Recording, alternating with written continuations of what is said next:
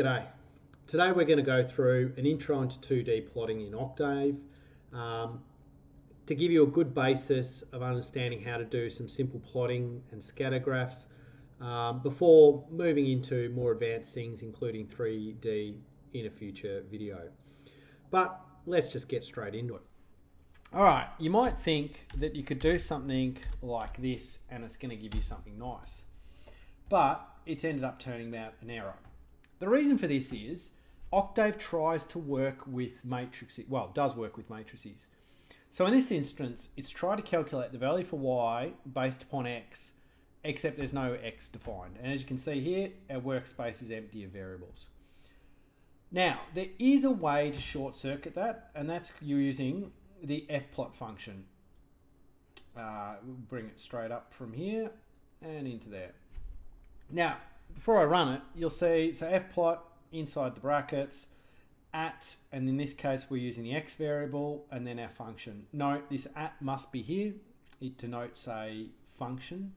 Um, and if you're using a variable, you need to put it in here as you're going to. So at use the function of x is x squared, um, and then we want a range of minus 10 to 10. Now, it would be a really short video if this was all I was going to show you today, uh, but it's not. Uh, and the reason I don't use fplot much is it's very simple, quick, which is good, uh, but it doesn't um, allow for some of the minor manipulations that you may need to do when you're doing more advanced stuff. So if you learn everything to start with, uh, and then you can wind it back later, or just run fplot if you want an indication of what your graph's going to look like. So let's get into it. So as I said, we need to define our matrices. So one of the simplest ways to do that is just to type out a list into a, a matrix like so. Now note, the computer's come back, software, has uh, come back and told us what x is equal to, noting it's here. Um, now, what it does is each time you put something in, it'll then calculate and then give you back your answers. In this case, x equals 0, 1, 2, 3, 4, 5. Now, for simple small matrices like this, it's not a problem. But if you're talking really long ones, such as this one, you're going to run into problems. And as you can see, now if you've got the time to uh, let this scroll through for every single thing you do inside this software, then clearly you have more hours in the day and are significantly smarter. Anyway, if you do yourself to, uh, if you do this to yourself, uh, the easy way to stop scrolling, Control C, and it'll stop it, but it still calculates uh, all your values. Now, what I recommend, and I put it on the end of pretty much everything I do inside Octave, is a semicolon. What the semicolon does is it suppresses the output. So it still runs a calculation, um, but it doesn't output it to the screen. Um, now, as I said, I recommend pretty much in everything I put a semicolon at the end of the line. The only times I won't is if I'm writing a script and I want that script to output stuff every now and again to reassure me that it's doing something. All right, moving on. So let's set up and let's make x and let's set it from minus 10 with an increment of 1 to 10. Semicolon again. Now, we've created for ourselves a 1 by 21 matrix. No, 21 values because it included minus 10. So minus 10, then 20 other values much the same as if you count 0 to 10, there's 11 values. Now, this might be fine. For a lot of stuff, it might be fine to do this, um, but that's not always the case. So if you want a number of values to plot, use the linspace function. So lin space, starting value, ending value, and how many data points you want inside that, enter. Now you'll notice we have a 1 by 100 matrix has been created for x, and you can see it increments by this. It'll increment by the same value. Now, if you want to have a look at the values inside your matrix, double click, and then it'll open them up inside the variable editor, and you'll see it's just over 0.2 is incremented each time, giving us 100 values.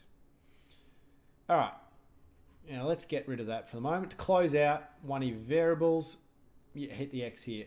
Note, if you decide to enter edit a data point inside the x uh, variable here, if you've used it to calculate a y, the y won't automatically update. You need to rerun your calculation for y with the new data points. So just be careful of that one.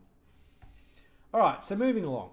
So we've now, let's, we've got our values for x from minus 10 to 10. Um, so let's calculate y. Now, notice, if you type this, it's not going to work. And the reason it's not going to work is Octave wants to do matrix multiplication on it. And you can't multiply a 1 by 100 uh, matrix by itself. Um, if you haven't done matrix multiplication, don't worry about it. Uh, just know that you can't do that matrix multiplication like that. So what you need to do instead is a scalar multiplication. To do that, put a dot before the square.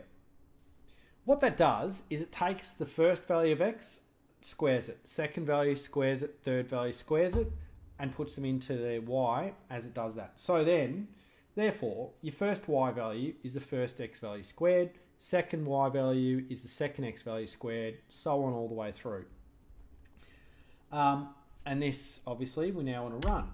Now you can see we've got our y, um, our y matrix created here.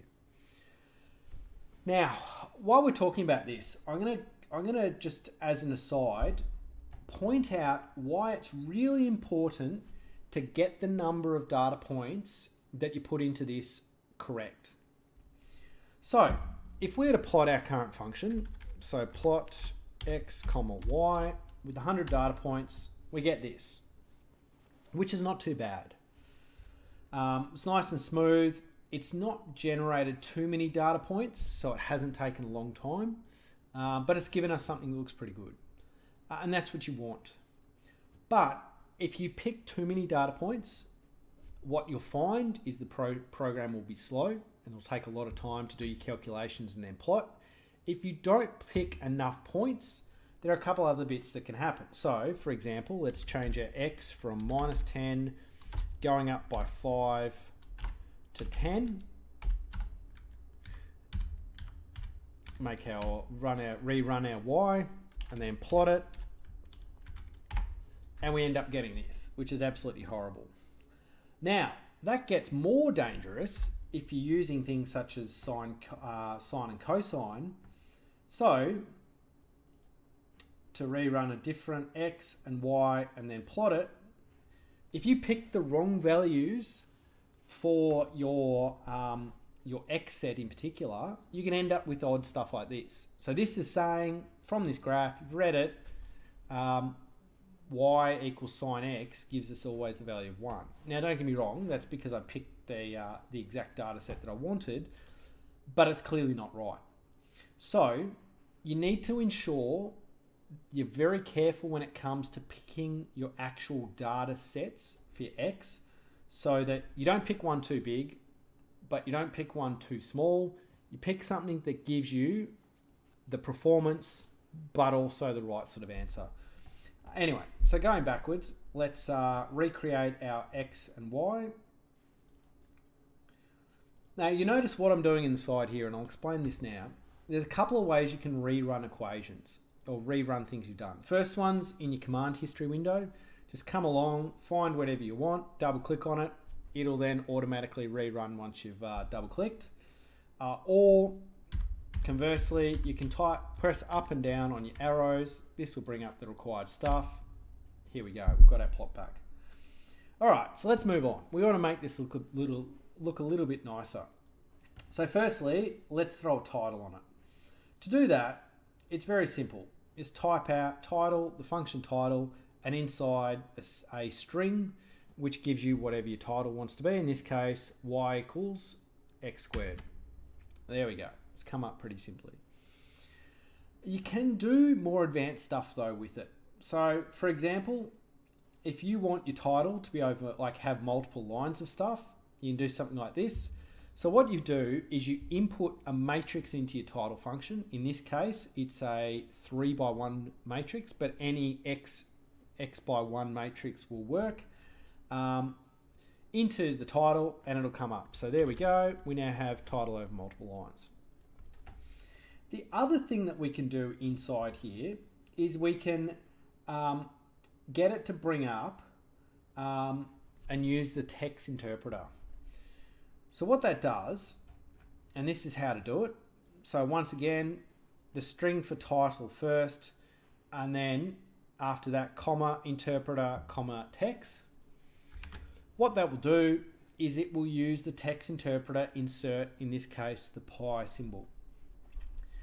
Um, what I recommend you do um, is when you get some time, look up Octave and TeX, and it'll take you through a whole list of different special um, symbols that you can bring up and the commands for each of those. In this case, uh, backslash pi brings up pi. Um, and you can add a little bit more to your bits. Now notice um, when we look at our plot, one of the things you'll notice straight off the bat is that the origin, like the y-axis doesn't go through our origin.